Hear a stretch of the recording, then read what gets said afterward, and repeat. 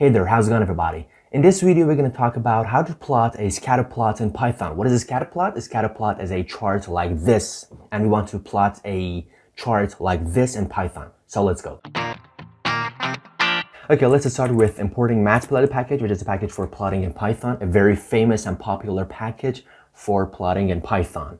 We say import matplotlib.pyplot as plt, and by saying as PLT, I mean we are defining an alias name for this long term matplotlib.pyplot. So we are importing matplotlib.pyplot as PLT. And for more detail, for more explanation, uh, you can check uh, my first tutorial on matplotlib series, which there is a link in the description below. Then we define two variable, x and y, which they are two lists. x is our x coordinates of our points, which is 1, 2, 3, 4 and y is a list, which is our y coordinates of our points. Then we say plt.scatter, which is used for plotting and a scatter plot in Python. This scatter function is used for plotting and a scatter plot in Python. Then we pass x and y through this function, and we say color equals to blue. I mean, we want to set the color of our chart to be blue. Then we say plt.show for showing the graph, and if we execute the code, you can see that here it is.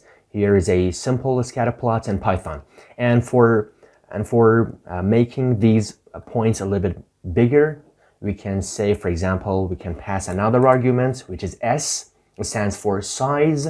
And we want to say, for example, 100. If we set this size to be 100 and we run the code again, you can see the points, the points are a little bit more bigger. You can set another for example, value, for example, 200, and you can see the points are uh, a little bit more bigger. That's it. Here's how to plot a simple scatter plot in Python. Thank you for watching. Please make sure to subscribe, like, and comment below for more support. Thank you.